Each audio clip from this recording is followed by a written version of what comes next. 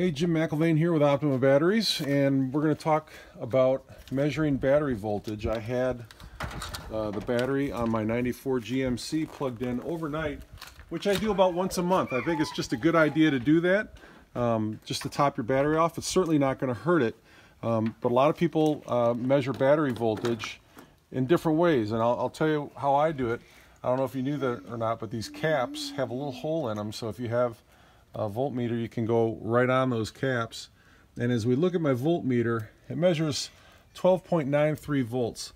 Um, so because it was just on the charger, that's what's called a surface charge. So I'm going to turn the headlights on for just a couple seconds to remove that surface charge.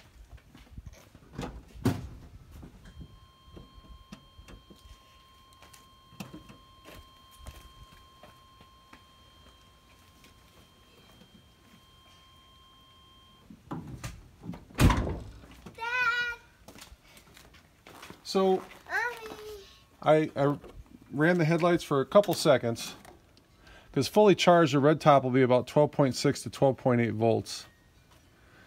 And this one is back down already and you can see it climbing a little bit, 12.65 and climbing. Um, so the best way to get a good measurement of battery voltage is at the terminals, uh, not inside the vehicle. There could be voltage drop depending on the gauge of cable. And with a voltmeter right here, you can see it measures in at um, you know somewhere between 12.6 to 12.8 volts not the 12.9 that it showed when it came off the charger. And the, the same thing is true when you're driving a vehicle. Um, if you just park the vehicle it'll have a surface charge on the battery and you'll, you'll have to dissipate that with the headlights or uh, over the next 12 to 24 hours of sitting uh, the battery will also uh, discharge a little bit and get rid of that surface charge. So this is the best most accurate way that you can measure battery voltage right here